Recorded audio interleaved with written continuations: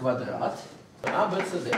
Его сторону BC разделили пополам.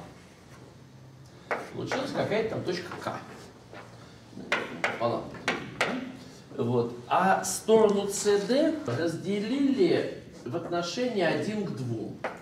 То есть э, некоторая точка М э, такая, что вот эти три отрезка одинаковые. Итак, э, CM к MD э, это 2, и CK к КБ это 1. Ну а после этого соединили. Задача. Найдите величину вот этого угла. Решили? Не, у меня вопрос, а ведь m может быть в другом месте, то есть тут два ответа. Нет, вот э, m именно в таком месте. Он какой-то не квадрат. Да.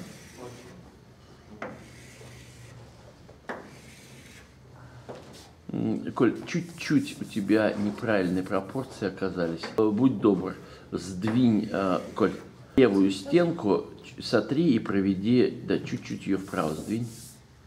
Да, прям так, да. Вот это квадратик такой же, как здесь. Одна Хорошо, такая да, да, хорошо.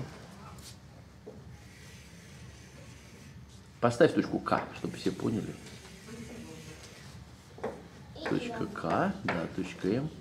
Теперь здесь отрезок. И теперь посмотрим на этот отрезок и вот этот отрезок. Они равны. Ну да, понятно. Потому что вот одна клеточка, две клеточки. Да, конечно. И вот такая пара клеток, если повернуть на минус 90 градусов относительно этой точки, ну то есть по часовой стрелке на 90 градусов, Ну да, да, да. Есть поворот на 90 градусов по часовой эта стрелке. пара клеток переходит в эту. Здесь 90 градусов, они равны.